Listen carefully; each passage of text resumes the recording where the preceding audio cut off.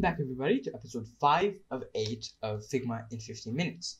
In today's video, we're going to simply just talk about components. This is a shorter video than the rest because uh, last time we made a sample design mockup, which took a while to just recreate and get familiar with some of the shortcuts. But this time I think it's a fairly short video and it's easy to understand actually. Okay, so today we're going to be talking about uh, components. So what are components actually? Well, remember here we had around four of these cards before in the last video that we made for the cards. Let's say if we wanted to change one of the, let's, let me give you an example. Let's just select this and copy these. This is roughly, oh, that's a bit too rough. um, copy, paste, paste. All right. So as you can see, we have these things. Let's just put this rectangle back here. Um, and as I told you guys in the previous video or some video, uh, that you can move stuff layers back. All right, cool. So now we have four of them. Let's say I want to change one of, uh, I want to change all the color, all these colors to around like a, a darker blue.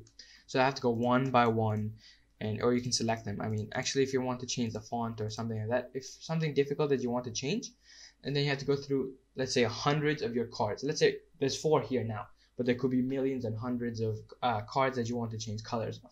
So that's going to be difficult. You have to go one by one, select everything, and that would be difficult. But from the beginning, if we use a component, uh, that would make it much, much easier. So I'll show you guys how a component works. Okay, so we don't need these cards actually. Now in this case, I think I'm selecting that. All right, cool. Oops. All right, so now we have a single card. Now we can just bring this out. And it's not a component yet, but it's actually very easy to make it a component. So how do you make it a component? Well, you, can either do Control Alt K, which I'll put on the screen. Um, it now is a component. As you can see, it's purple compared to the blue, which is just a normal uh, an element. So, or you can just right click um, this or your selected area, which you can also group by clicking Control G, which is also useful. And you can right click it and create component. Alright, I prefer uh, getting familiar with the shortcuts because it makes it much quicker unless you have to go find stuff like let's say plugins. I wish they had some shortcuts, but they don't. You have to go find it and do all the stuff. Alright, cool. So now we have our component. So let's just give an example of how this looks. Let's say I want to copy and paste this component. Um, let's just make some instances. These are called instances where you can copy and paste a component.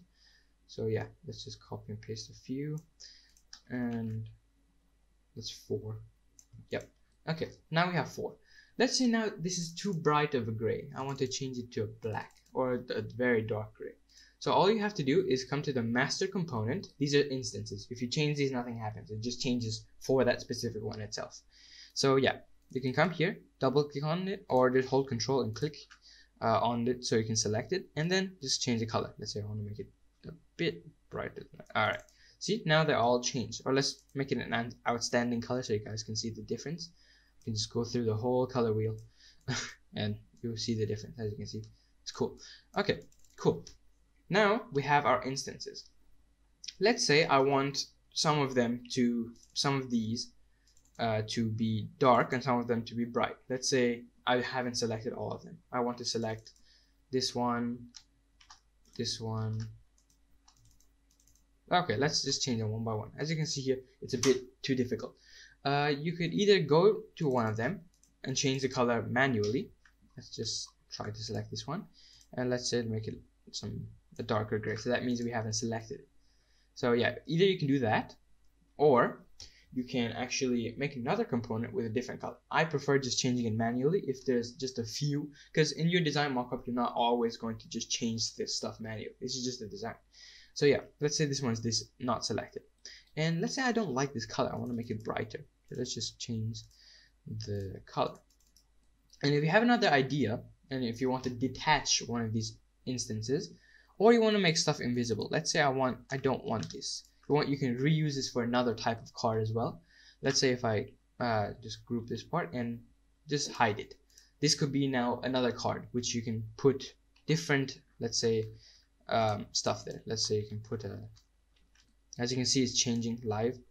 it's cool. So you can, let's just say roughly, I put some arrow there. You can click on it, or go to another page. But for now, we'll just keep our previous component over here. Okay, so yeah, I was saying, if you want to detach a component, uh, I mean, that means it won't be under controlled by the master component. Right click it, and you can do detach instance or control alt B. Okay, as you can see here, now it's detached. Now it's a separate thing from this. So if I change this now, so if I change the text, nothing will change for this one.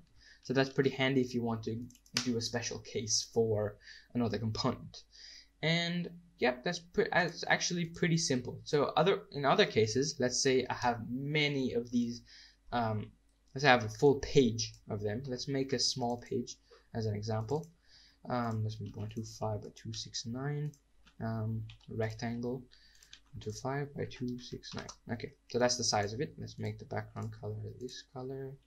Let's make it white actually make it white okay then we have I want to have some instances of this uh, let's bring it to all the way forward okay I want to have some instances of the component again and the good thing is in different pages let's say this is this is when you click on this or when you swipe uh, scroll up this would be a full view of all the things you can delete let's say so let's say I want to change all of these the good thing is let's say these are different pages right so if they're different pages, that means it's very easy actually to just change everything, every single component in every page.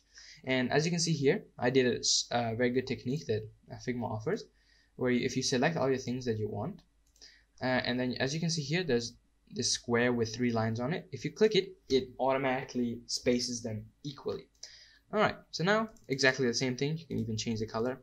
You can change it back to this color. As you can see, you can see how it looks like and how it how it's cool and yeah all those stuff so yeah i think that's basically it for this video hopefully you guys learned what components are i think it's that difficult to learn it and yeah i just told you guys that if you change something here on an instance it doesn't change in the master component so if i want to change this for example to 1 point or 5.223 then you can then you can add different names to them as well from the instance itself all right so that's this video and in the next video, we'll talking uh, we'll be talking about prototyping, which is linking uh, pages together and maybe even uh, adding scroll to let's say this this page. We'll have more of these, and we can scroll down into uh, to see more of them. Right now, it's only a static page, and if you view this, it wouldn't look it, it wouldn't be scrollable.